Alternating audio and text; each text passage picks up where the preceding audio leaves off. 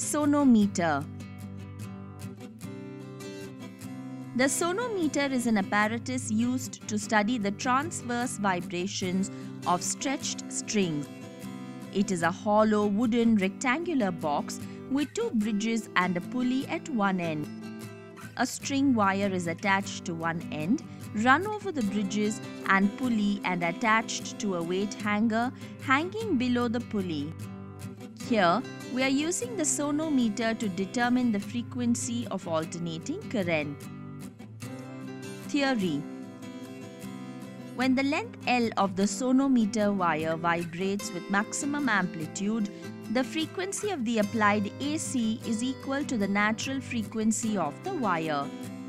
Therefore, frequency of AC nu is equal to 1 by 2L into root of T by M, where T is equal to mg, the tension of the wire, and m is the linear density of the wire. Therefore, nu is equal to 1 by 2L into root of mg by m that is equal to 1 by 2 into root of g by m into root of m by l square.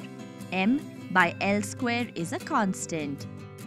If r is the radius of the wire and rho is the density of its material, m is equal to pi r square rho. Materials required. Sonometer. Step down transformer.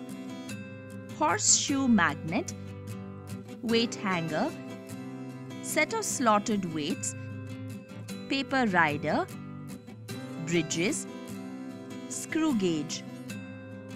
Procedure Place the sonometer on the table.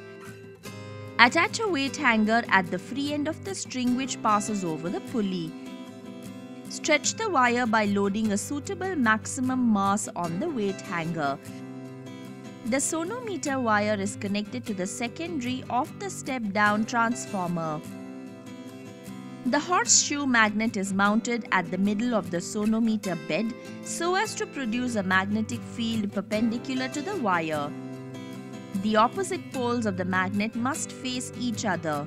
The bridges are placed on either side of the magnet at equal distance from the magnet and are close to each other.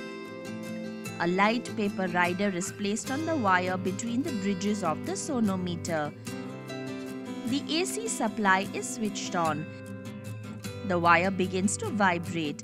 The length of the wire between the two bridges is adjusted till the wire vibrates with maximum amplitude.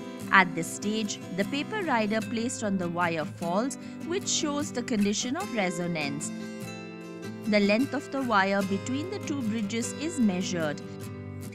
This is called the resonating length L.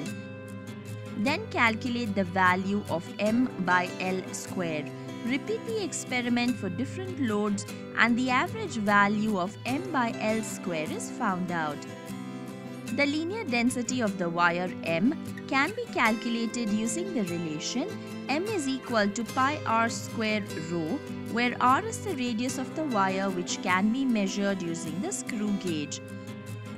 By knowing the linear density m of the wire, the frequency of AC mains supply is calculated using the formula nu is equal to 1 by 2 into root of g by m into root of m by l square.